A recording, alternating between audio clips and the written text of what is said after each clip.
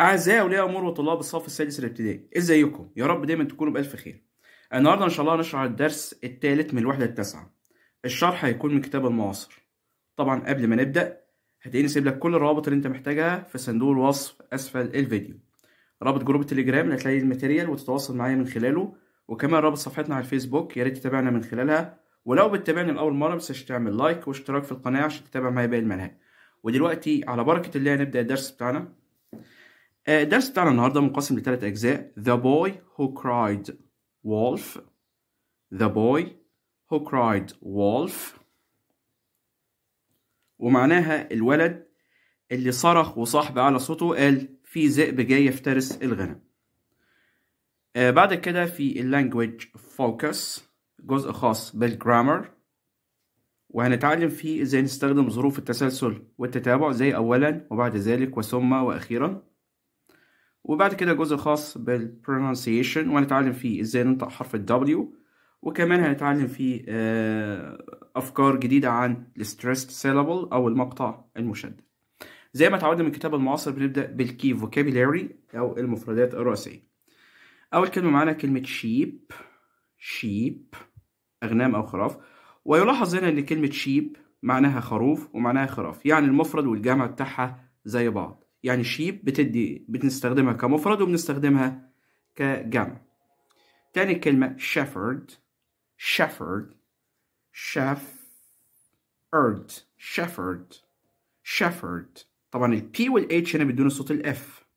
shepherd shepherd. واللي وراه غنم lonely lonely وحيدا lonely. villager villager. Villager يعني قروي أو مزارع أو شخص ساكن في قرية. Wolf. Wolf. ذئب bored. Bored. Bored. يشعر بالملل. Bored. طبعا حرف الإي هنا silent ما بيتنطقش. آه بعد كده هنا معانا كلمات زي كلمة main main main أساسي أو رئيسي. Angry. Angry. Angry غاضب recipe recipe وصفة recipe بعد كده هروح للإكسترا vocabulary المفردات الإضافية scared scared خائف real real حقيقي sorry sorry آسف أو حزين joke joke نكتة أو فكاهة yogurt yogurt زبادي again again مرة أخرى mint mint اللي هو النعناع pieces pieces pieces قطع truth truth هي الحقيقة truth truth untrue untrue غير حقيقي untrue untrue مقطعين untrue untrue bowl bowl hill hill آه بعد كده آه الجزء الخاص بالأفعال. آه عندنا النهاردة الأفعال كلها منتظمة. أول فعل معانا annoy annoy annoy. يزعج أو يضايق. annoyed. طبعا E silent. annoyed. waste waste wasted. believe believe believed. shout shouted shout shouted save saved plan planned kill killed appear appeared reach reached طبعا هنا حرف الاي silent والدي بيتنطق ت.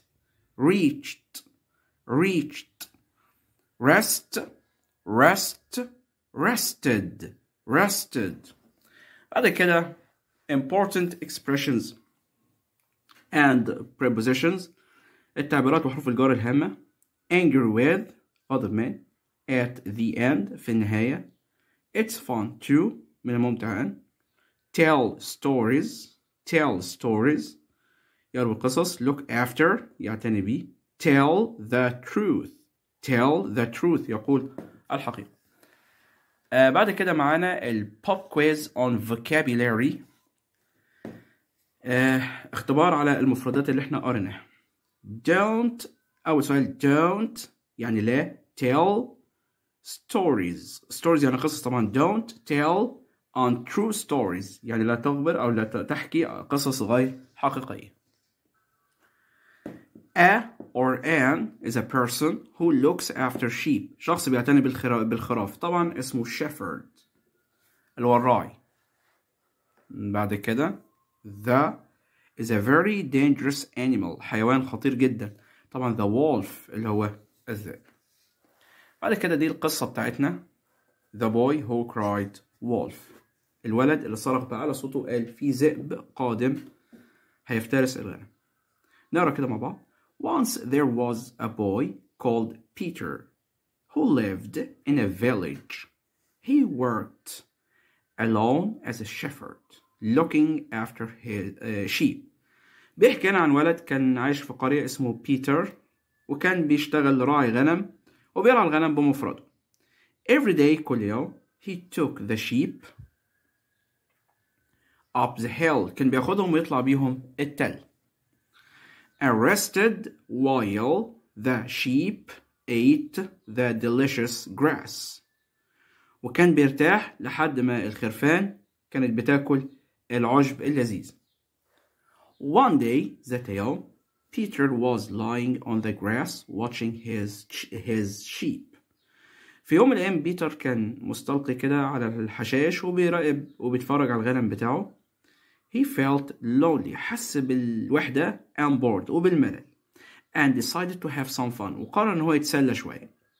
First أولا شوف بقى فكر يعمل إيه. First في الأول he shouted wolf! صرخ بأعلى حسه قال في ديب جاي. There's a wolf. يوجد ذئب to the villagers in the field below. للناس الفلاحين أو القرويين اللي هم بالأسفل. طبعا هو ما كانش فيه ذئب ولا حاجة بس هو كان بيحاول يتسلى ويخدع الفلاحين البسطة بتوع القرية. Next بعد ذلك he laid down استلقى على الأرض and waited واستنى. The villagers were busy working.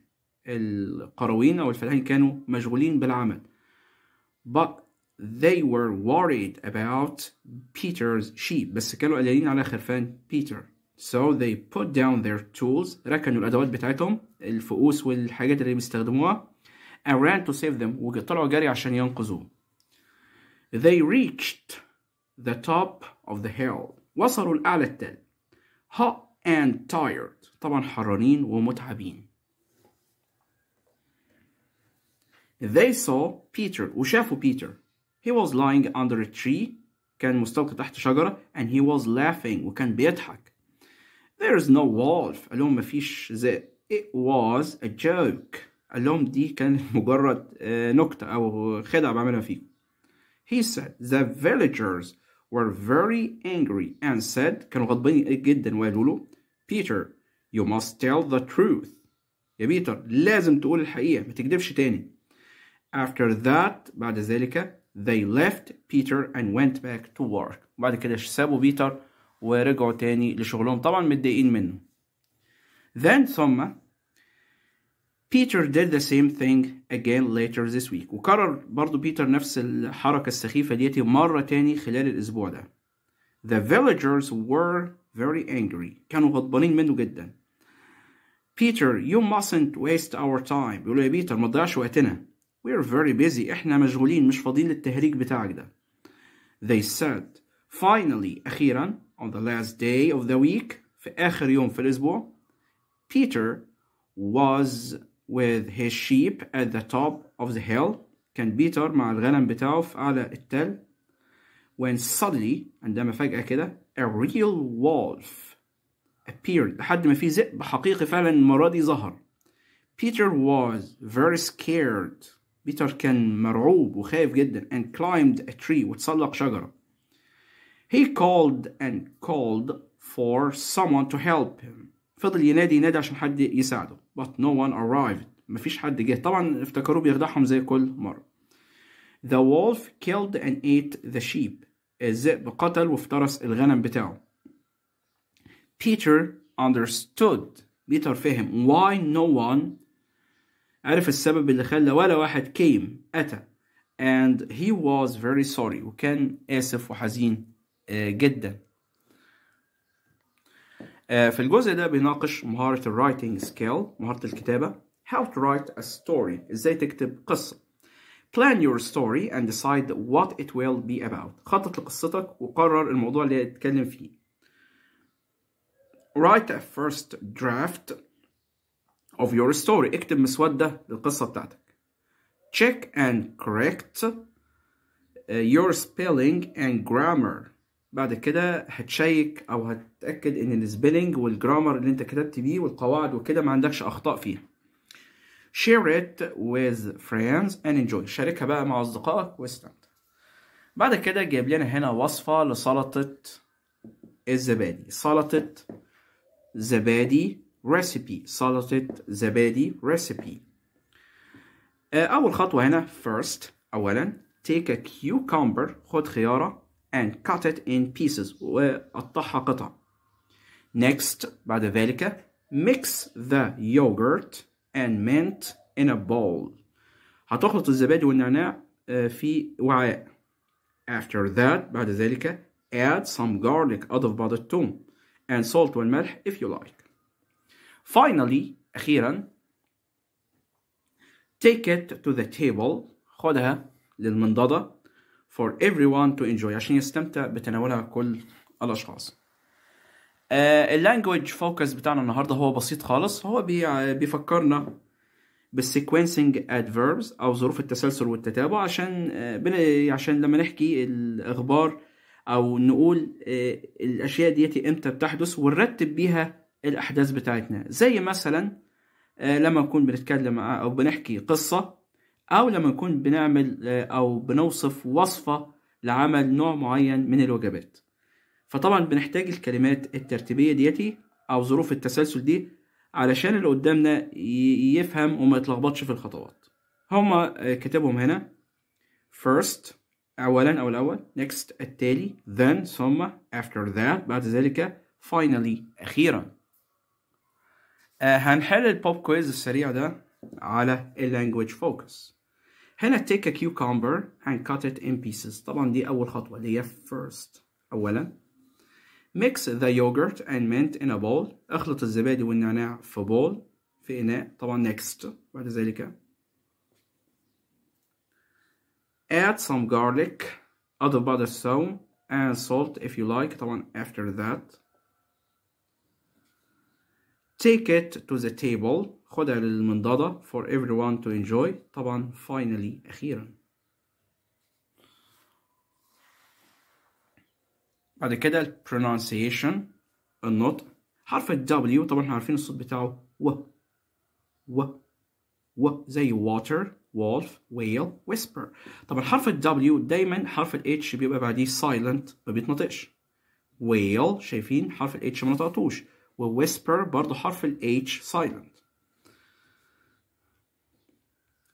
كلمات فيها الصوت و زي when wave west went walk what white wolf where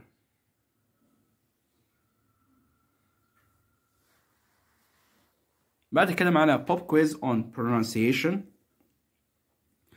اختبار مصغر على آه، النطق. Listen and circle the word you hear. الكلمة اللي هتسمعها هتعلم عليها. آه، أول كلمة جاية في نص الاستماع هي white. White. هنا حط دايرة على white. When. حط دايرة على when. Wave. حط دايرة على wave. Whale. حط دايرة على whale. بعد كده هنقرأ ونكمل read and complete the words with w ب W or WH والاتنين بيدوني نفس الصوت اللي هو الصوت و a white يبقى WH whale يعني حوت أبيض went ذهب west غربا a wolf whispered هنا WH what when آه بعد كده read and circle the sound the odd sound out هنقرا ونطلع الصوت المختلف what when whale daughter طبعا daughter ما فيهاش صوت و wolf drought walk wave طبعا drought ما فيهاش الصوت و مكمل معانا هنا في جزء ال pronunciation او النطق وبيتكلمنا عن ال stressed syllable المقطع المشدد عليه عند النطق. طبعا زي ما اخدنا قبل كده إن كلمات الإنجليزي مش كلها بتتنطق بنفس التون أو نفس النغمه دايما بيبقى فيه جزء من الكلمة مشدد أو بنركز فيه شوية والصوت بتاعنا بيعلى فيه سن. آه بيقول هنا is a stressed part of, the, of a word or phrase. It is said more strongly than the rest of it. When a word has a prefix لما الكلمة بيبقى فيها prefix prefix اللي هي البدال والمقطع اللي بيضاف لأول الكلمة. The prefix usually isn't stressed. البريفكس ده عادة ما بيبقاش مشدد لكن باقي الكلمة بيكون مشدد. Example مثال. Resend. شايفين أنا بعمل إيه؟ resend. المقطع ري أنا خطفته خطف كده لكن send هو اللي ركز ركزت فيه. Resend. Resend re طبعا isn't stressed مش مشددة. If the base word has one syllable, the stress is on the base word. لو الكلمة الأساسية اللي هي كلمة like دي أصل الكلمة. وضفنا لها البادئة this. طبعا الكلمة الأساسية هنا مقطع واحد. طب التجديد هيكون فين؟ هيكون على التجديد على الكلمة الأساسية. والبريفكس هيفضل زي ما هو غير مشدد. طيب تعالوا كده ننطق آه الكلمات ديت مع بعض ونشوف التجديد وقع إزاي آه أو إيه المقاطع اللي وقع عليها؟ التجديد. Dislike. Dislike. Indoors. Indoors. Replay. Replay. Untidy. Untidy. Incorrect. Incorrect. disagree disagree look and learn هنقرا مع بعض الكلمات ديت ونشوف الكلمات المضاف لها بريفكس ونشوف التجديد آه والواقع المقطع التاني وهنلاحظه مع بعض نسمع كده let's resend the message why do you dislike surfing I like playing indoors he wasn't happy He wasn't happy. آه بعد كده معانا pop quiz سريع على ال pronunciation على النطق. هنحط دايرة على المقطع آه المشدد. The answer is incorrect. ركز أو هنا التجديد على المقطع correct. Why do you disagree with them?